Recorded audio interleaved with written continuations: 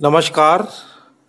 इस वीडियो के अंदर हम जानेंगे, अगर किसी व्यक्ति की जो हृदय रेखा है, वो गुरु पर्वत तक पहुँचती है और दो या तीन भागों में विभाजित हो जाती है तो किसी व्यक्ति के जीवन के ऊपर क्या प्रभाव रहते हैं? तो दोस्तों, वीडियो को शुरू करने से पहले, अगर आपने मेरे चैनल को सब्सक्राइब नहीं किया है, प्लीज़ मेरे चैनल को सब्सक्राइब कर लीजिए ताकि मेरी जानकारी भरी वीडियोस आप तक पहुँचती रहे। तो दोस्तों, जैसा कि आप जानते हैं किसी व्यक्ति की जो हृदय रेखा है, यहाँ बुद्ध पर्वत जहाँ आपका समाप्त होता है, वहाँ से निकलती है और इस प्रकार से गोल घूम करके गुरु पर्वत पे आकर के रुक जाती है। तो दोस्तों, ऐसे जो लोग होते हैं, उनके अंदर कौन कौन से गुण होते हैं, उसके विषय में मैं आपको बता देता हूँ।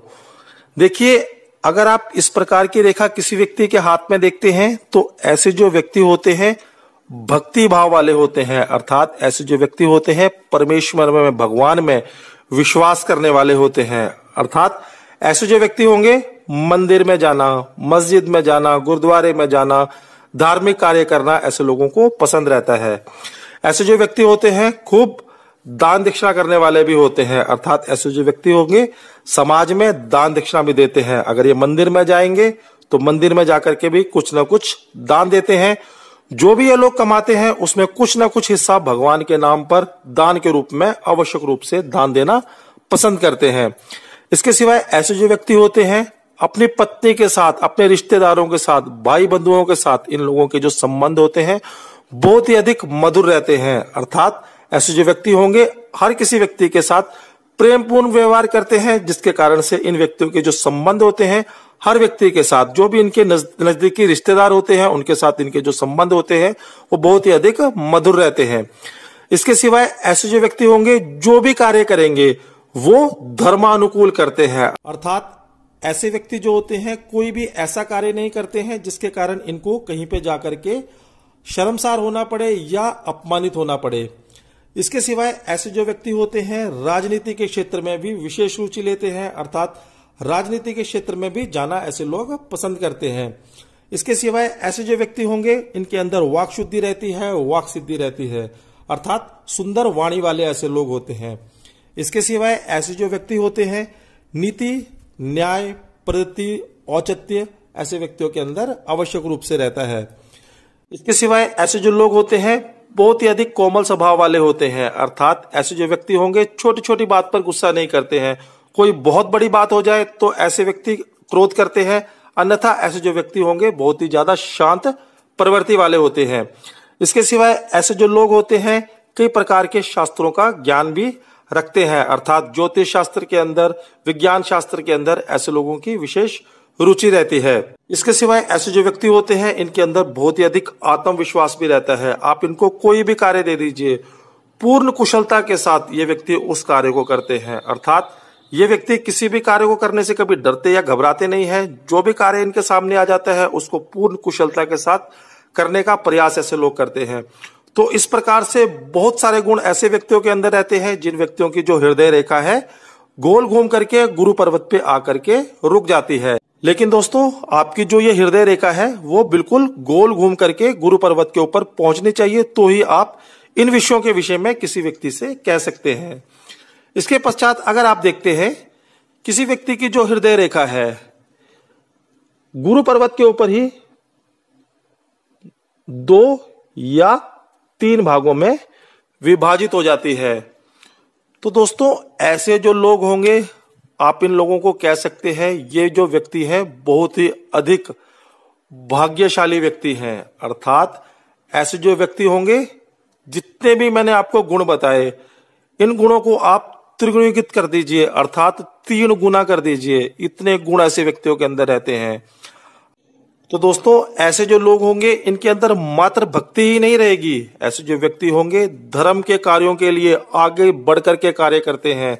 ऐसे जो व्यक्ति होंगे, मंदिरों का निर्माण करते हैं, मस्जिदों का निर्माण करते हैं, गुरुद्वारों का निर्माण करते हैं।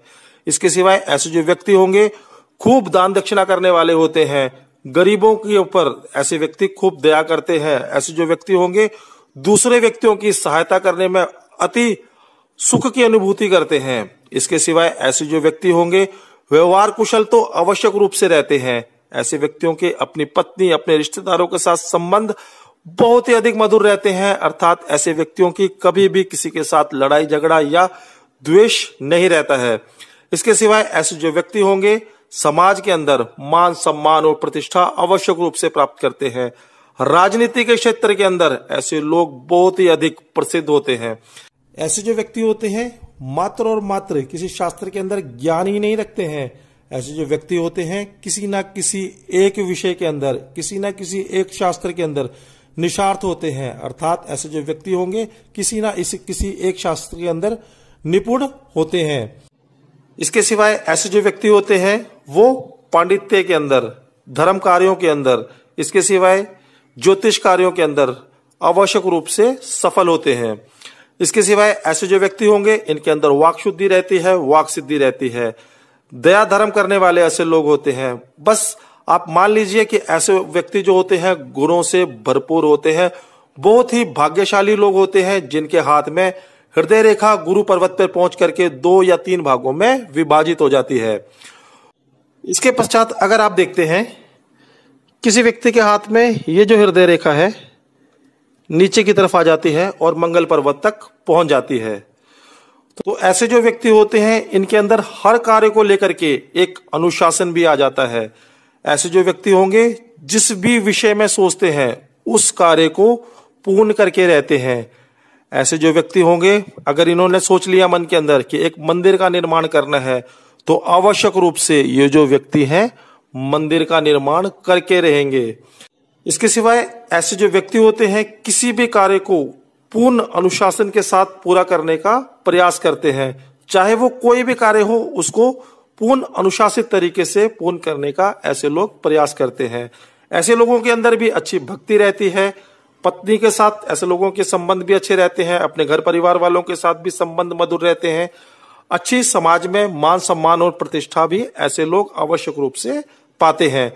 इसके सिवाय ऐसे जो लोग होते हैं, अच्छी आयु वाले भी होते हैं, अर्थात ऐसे व्यक्तियों की जो आयु होती है, वो भी निश्चित रूप से लंबी होती है। क्यों लंबी होती है? क्योंकि मैंने आपको बताया था कि किसी व्यक्ति की जो आयु की गणना करते हैं, वो तीन रेखाओं से करते हैं। आपकी जीवन रेखा, आपकी बुद्धि रेखा और आपकी हृदय रेखा। तो अगर हृदय रेखा व्यक्ति के हाथ में लंबी है, स्पष्ट है, बुद्धि रेखा लंबी है, स्पष्ट है, जीवन रेखा पूर्ण है तो निश्चित ही ऐसे व्यक्ति की जो आयु होगी, वो भी बहुत ही अधिक लंबी होगी।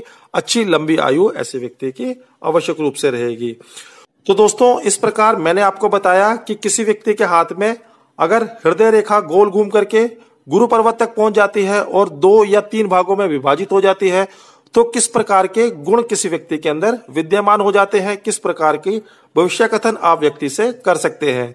तो मुझे लगता है आवश्यक रूप से आपको मेरे द्वारा दी गई जानकारी समझ आ गई होगी। अगर आपको मेरे द्वारा दी गई जानकारी अच्छी लगी हो तो आप मेरी वीडियो को लाइक कर सकते हैं, मेरे चैनल को सब्सक्राइब कर सकते हैं।